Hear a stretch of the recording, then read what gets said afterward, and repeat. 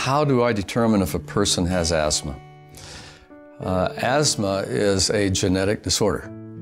You don't get asthma unless you carry a gene. Often there's a family history of having asthma, which is very important. Not always, but often. The second step is to define their symptoms. What symptoms are they having?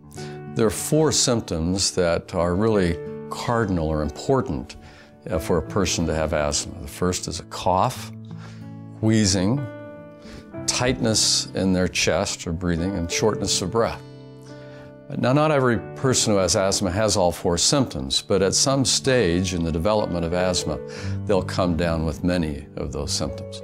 Sometimes it's simply a cough, and a chronic cough is what brings them in to see me.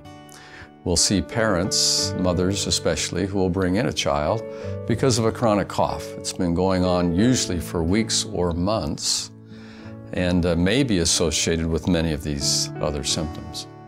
So we really begin that journey of, of diagnosis by talking about symptoms.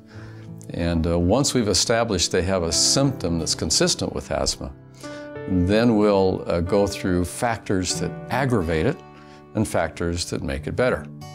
What seems to make it worse? If they run and play, if they get a cold or respiratory infection, if they're at school and they're out at recess on a polluted day, red burn day, and they tend to have more difficulty or trouble.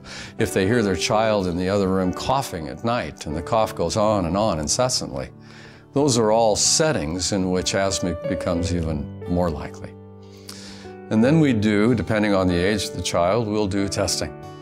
Once we've established a likelihood and we've examined the child, but the exams are oftentimes quite normal because they're so episodic. Once we've examined the child, we'll do some testing with him. Now, in children, there's a moderately high correlation between allergies and asthma.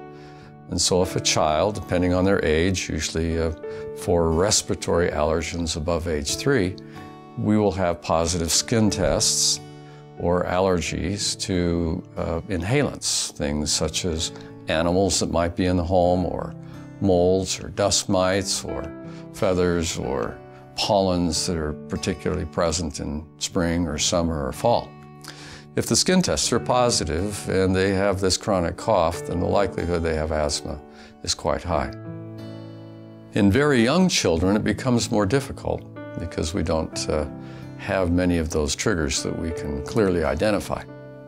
And a real problem is often in an infant, uh, less than age one, who has recurring episodes of cough or wheezing but are always occurring in the context of infections. Do they have asthma or are they just having recurrent infections and bronchiolitis? Again, if there's a family history of asthma or if they have these other symptoms, then it begins to unfold that that's the case. Uh, there are national standards for the diagnosis of asthma in small children. If one has a cough with wheezing, which is occurring four times a year or more than twice every six months, in the context of a person who uh, responds to bronchodilators and who has positive allergy testing or blood cells that are consistent with asthma, then that diagnosis of asthma becomes more likely. So, but often we're left at the end of our evaluation not knowing for sure, especially in small children. And we will then treat them and watch them carefully, get them back, and see how well they respond to treatment.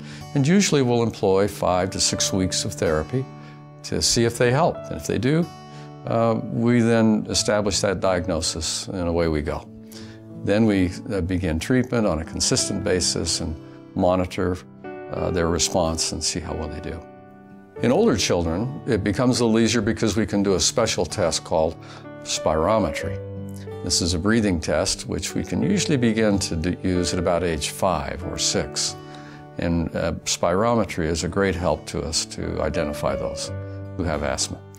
So the diagnosis of asthma is a difficult one in very small children, but uh, we usually get it right uh, when we employ all of these measures and uh, the secret then is to get them on proper therapy. Therapy for asthma is really three things of, of identifying the triggers that they have and avoiding them, it's uh, employing proper therapy, medication.